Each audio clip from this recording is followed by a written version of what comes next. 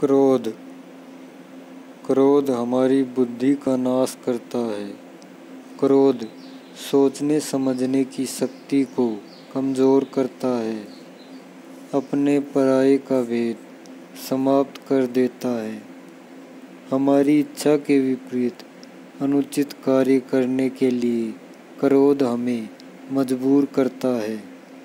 इसलिए क्रोध नामक शत्रु को अपने नियंत्रण में रखना चाहिए और अपने पर हावी नहीं होने देना चाहिए।